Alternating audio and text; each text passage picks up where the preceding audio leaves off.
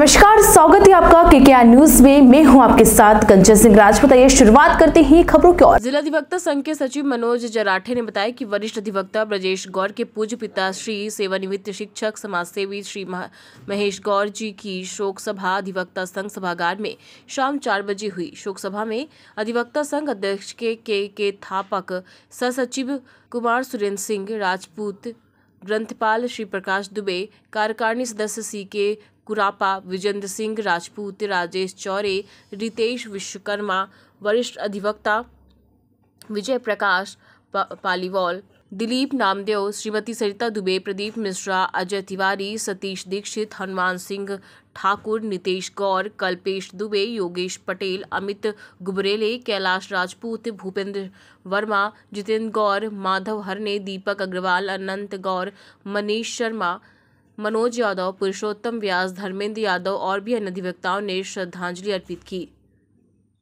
मनोज कुमार जराठे, सचिव। जिला अधिवक्ता संघ नर्मदापुरम, मीडिया प्रभारी। अभी के लिए बस इतना ही। हमारे चैनल में बने रहने के लिए हमारे चैनल को लाइक, शेयर, सब्सक्राइब करना ना भूलें।